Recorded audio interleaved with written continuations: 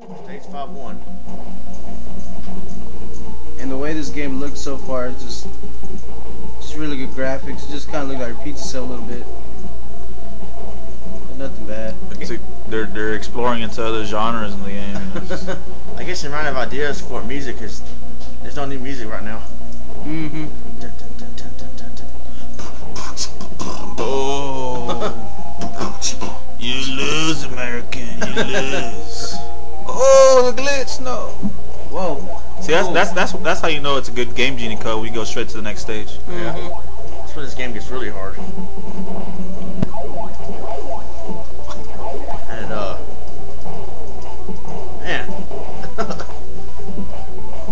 How many, how many people are trying to run at you at one time? I don't know, man. See, I hated this stage right here. I got stuck on this stage like so many times. What? What? I think they just pushed you off. They didn't even hit you. They just like pushed you. they intimidated me off. Before we do. See, this part right here, Is this Contra be whooping people to spread? Oh man. they didn't have double jump back then. Ooh. Like yeah, jump what, or die.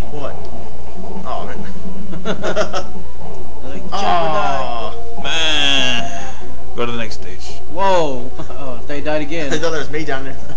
See, this, that's kind of hard. You gotta get over there like that. Stage 5-3. This music's crunk. Man. Oh, man, bro, Rocketeer. Oh Is yeah. that a pig? When face flying. This ain't oh. Battletoads. Flying pigs, driving them off. yeah.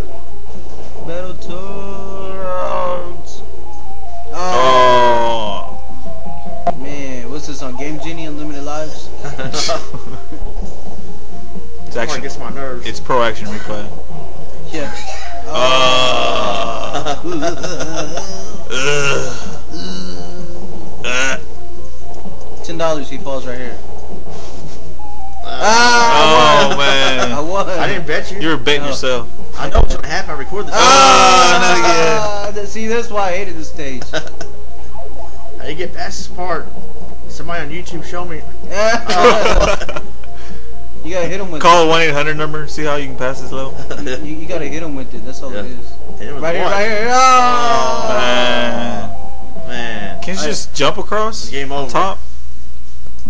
Yeah, this game is a classic. Uh, music, everything, uh, just uh, uh, real hard too. That's a good challenge. So overall, I'll probably give it a nine out of ten. Uh, I'll give it a 10. Cause I like the controls. nah, I like the cover though. Cover looks p- pretty pimp. Yeah. Uh, uh, just everybody just buy that game. Yeah, I give it a nine out of ten. Only because it's so damn hard. I never beat it to this day, so I would give it a ten if I could at least beat it once.